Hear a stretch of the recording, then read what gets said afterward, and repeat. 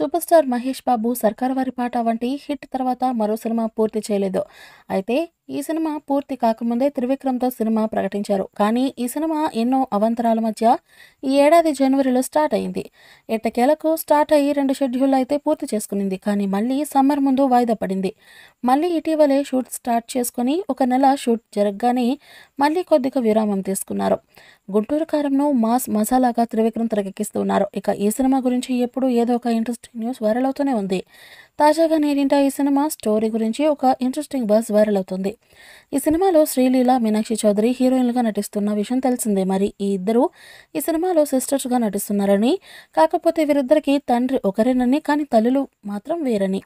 ఈ క్రమంలోనే ఇద్దరు హీరోయిన్ల మధ్య కోల్డ్ వార్ నడుస్తుందని టాక్. అయితే కాదు ఇద్దరి మధ్య మహేష్ పాత్ర చాలా ఇంట్రెస్టింగ్‌గా సాగుతుందట.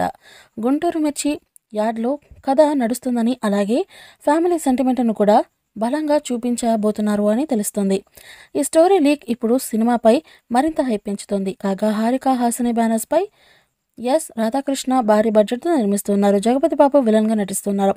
ఇక తమన్ సంగీతం అందిస్తున్న ఈ సినిమా వచ్చే ఏడాది సంక్రాంతి కనుకగా జనవరి పదమూడున రిలీజ్ కానుంది.